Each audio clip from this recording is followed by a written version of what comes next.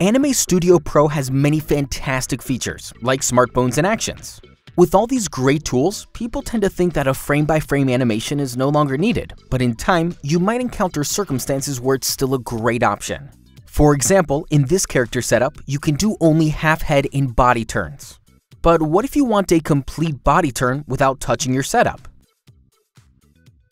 Here, in this running animation scene, I added at the end several images to the timeline in a frame-by-frame -frame animation manner, so I can achieve the illusion of a complete body turn of my character.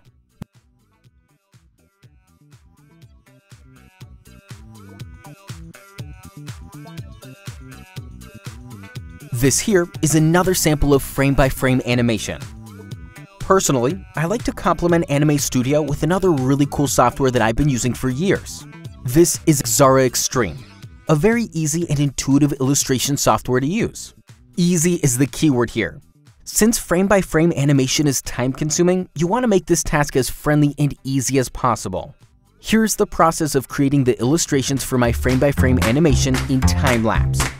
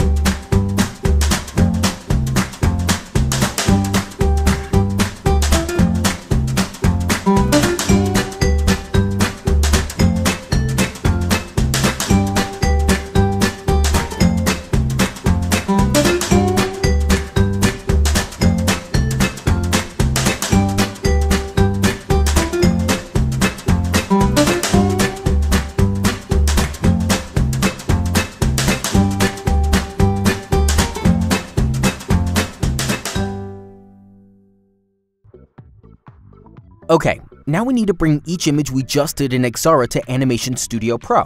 And now it's just a matter of making each image visible only on certain frames of our timeline.